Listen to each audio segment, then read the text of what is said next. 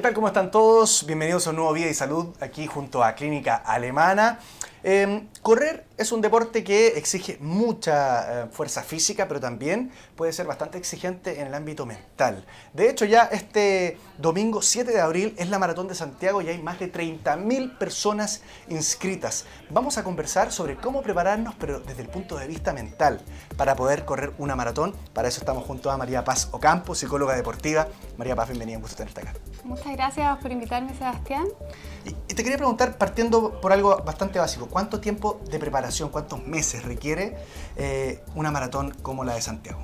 Mira, va a depender mucho de los objetivos y eso obviamente también depende de cada persona. Hay algunos que están por primera vez queriendo correr esta maratón, hay otros deportistas que son de elite, por lo tanto no hay un tiempo único para prepararse. Sin embargo, eh, prepararse mentalmente es a la par de prepararse físicamente.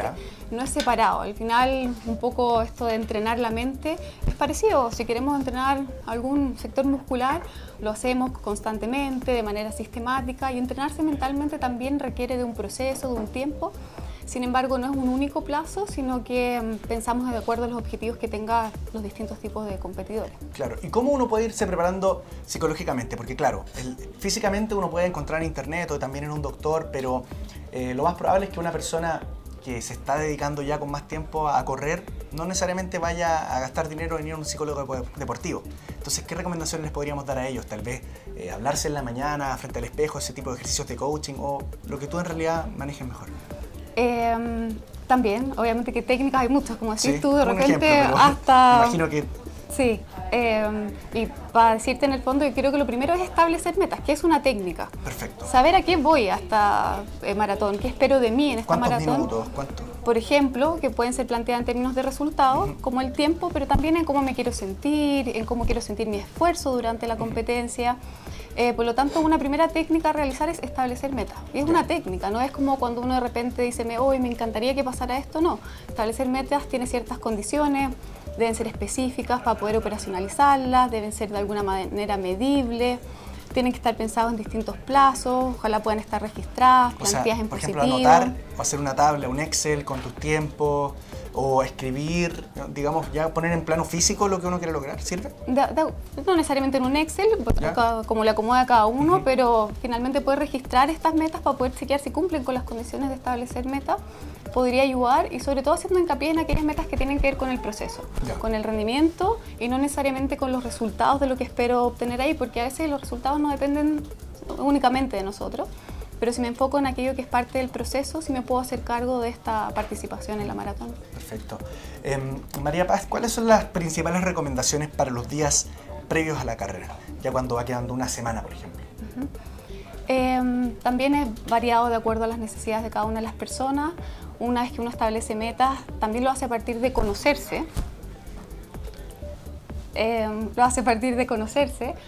Eh, por lo tanto, poder encontrar primero, habitar, habitar el mismo cuerpo que va a estar corriendo ese día a través de distintas estrategias, situarse en el momento presente, estando en cada uno de esos días previos a la competición eh, ayuda bastante para que no se nos adelante un poco el pensamiento como ya va a ser ese domingo, ya va a llegar el 7.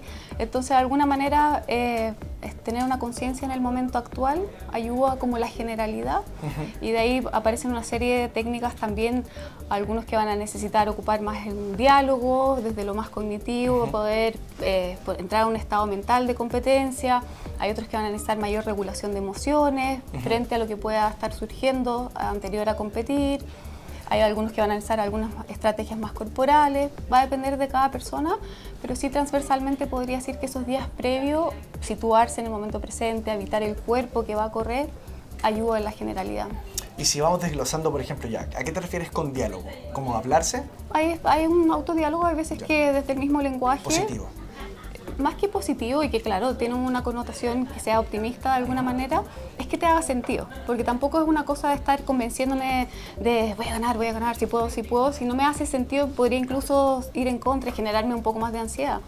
Pero algún diálogo que se ajuste dentro de la expectativa, que vaya también en correlación con estas metas establecidas, de este conocerme qué recursos voy a utilizar para poder enfrentar la competencia Eh, por eso no es como llegar y hacerlo tan tan solo, es un proceso guiado por un profesional. O sea, en realidad, eso es importante también. Vamos aclarándolo, porque por ejemplo, si yo quisiera correr una maratón ya el próximo año, porque este ya no llego, pero tú me recomendarías que me viera con un especialista, o sea, un psicólogo deportivo. Como tú. Viene de cerca la recomendación, porque claro, soy psicóloga de deportista, pero de todas maneras, en el fondo realmente prepararse en cuanto a la mente, en cuanto al corazón y cómo vas a enfrentar esa competencia más allá de lo que sea tu capacidad física.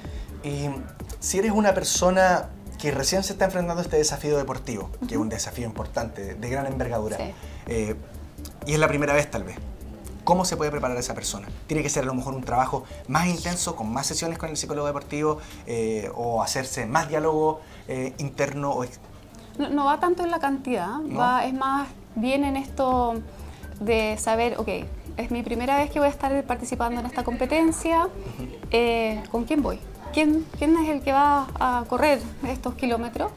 Entonces no, no tiene tanto que ver con una X cantidad de sesiones, sino que la medida que pueda ir encontrando cuáles son los recursos actuales que tengo, perseverancia, tolerar la frustración, gestionar emociones que se van presentando durante el recorrido, poder focalizar hacia la ejecución de las acciones que requiere este deporte y una serie de cosas de ese tipo. Eh, es, encontrar eso más que en un plazo de tiempo, sino que ir buscando para saber qué van a ser los recursos con los que vas a estar corriendo. Claro, bueno, estamos conversando con María Paz Ocampo, psicóloga deportiva de Clínica Alemana, y te quiero preguntar, María Paz, em, si por ejemplo será positivo hacer un, el recorrido antes de que sea la carrera como por ejemplo el clásico reconocimiento de salas antes de la PSU, que yo no sé si eso ayudará mucho a bajar la ansiedad, pero es una opción factible.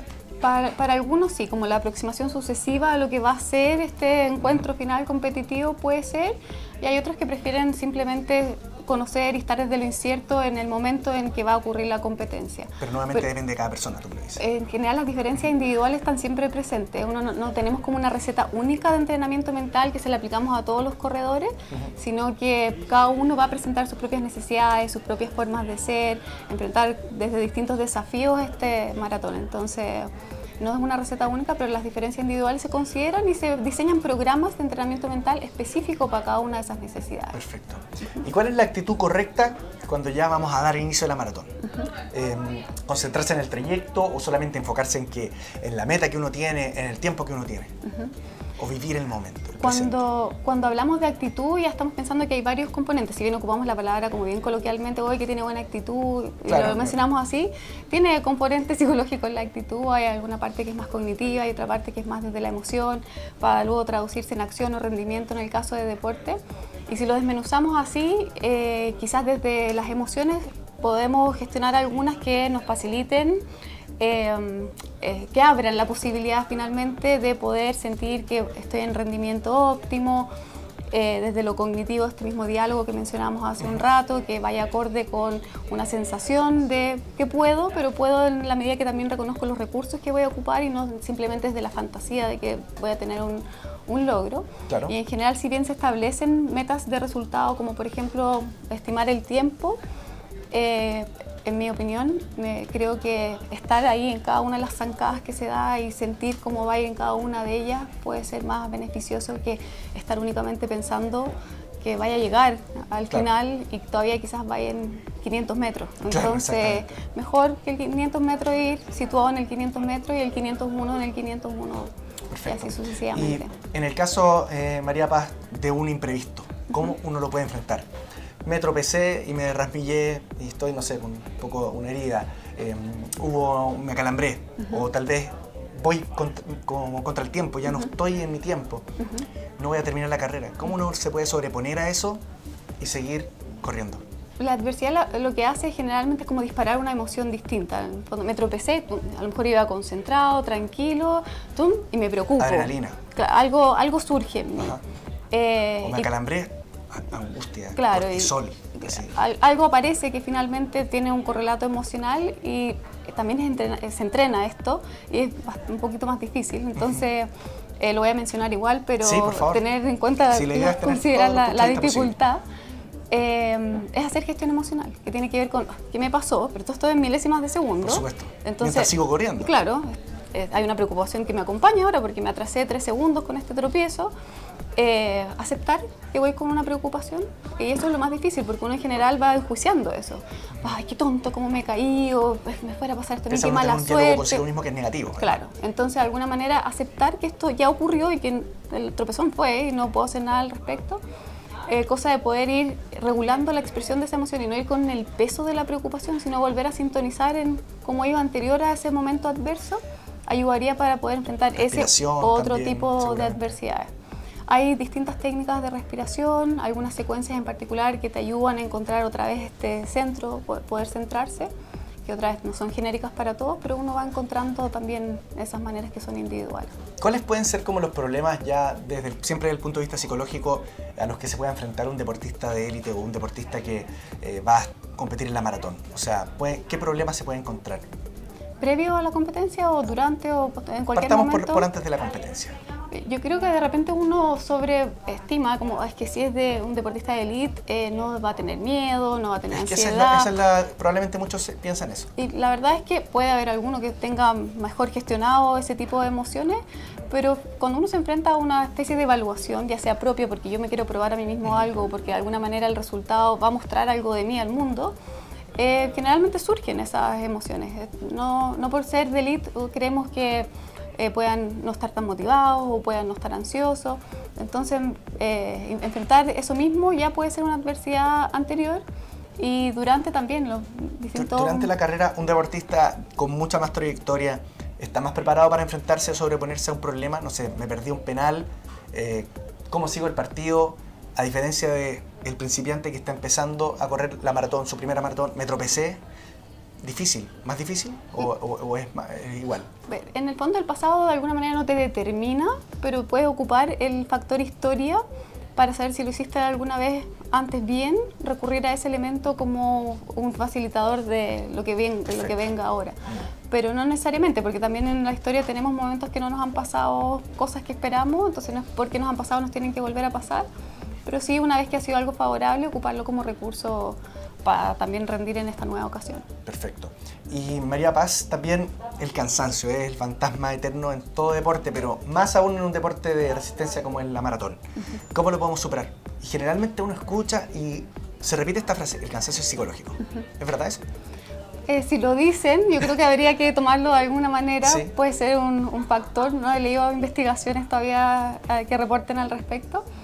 Eh, pero sí haría esa distinción. Hay veces que el, cuerpo te está dando algunas señales de cansancio, pero trataría de distinguir de mi estado mental. Si también es una fatiga mental o si es que puedo recurrir a esa fuerza interna, ese poder personal que también tenemos desde todos estos recursos que mencionaba antes para ocupar eso cuando de repente nuestro cuerpo ya va bajando un poquito ahí en, resistencia, tenemos un poder eh, personal que nos puede ayudar a seguir adelante. ¿Y alguna, alguna recomendación para ese momento, cuando ya estás muy cansado? ¿Algún tip, alguna técnica, alguna eh, dinámica que uno pueda poner en práctica rápido? Eh, eh, se va asociado a, un, algo que se ha entrenado anteriormente. Por supuesto, o no puede ser de, una sola vez. No, y, tiene que ver con esto un poco. En algún momento cuando estoy definiendo quién soy en esta competencia y qué es lo que llevo en esta competencia, es recurrir a eso, pensando como una cajita de herramientas de alguna manera. Entonces esos momentos que son un poco más difíciles, recordar que yo también estoy hecho de estos atributos, de estos factores que sí me favorecen incluso frente al cansancio y tomarme de eso para poder seguir frente a esos momentos que son un poquito más desafiantes. Y para cerrar, terminó la carrera, me fue bien, me fue mal. ¿Cómo podemos bajar la adrenalina después de esta tremenda competencia? Para dormir mejor, para poder no estar tan, tal vez tan agresivo, tan alerta. ¿Cómo se puede bajar? Eh, también otra vez una serie de técnicas, pero quizás una bien genérica tiene que ver con secuencias de respiración. Em, respirar de manera un poco más prolongada, de, de respiración torácica, ayuda a bajar un poquito esta sensación de sobreactivación que, que pudiese haber. Hay algunas secuencias que aplican más para unos que para otros en términos de en cuánto tiempo inhalo y en cuánto tiempo exhalo, que también la idea es entrenarlo antes para poder ocuparlo como una herramienta posterior. Pero sí, eh, la activación es lo que reportan hartos los deportistas de élite que, que, como, no puedo... María Paz eh, Ocampo, psicóloga deportiva de Clínica Alemana, te doy las gracias por haber conversado con nosotros, por toda la información que nos entregaste. Un gusto. Gracias, Sebastián. Te pasaste muy bien. Y también gracias a ustedes por habernos visto. Espero que tengan buena jornada y nos vemos muy pronto en T13.cl y también en todas nuestras plataformas digitales T13. Hasta luego.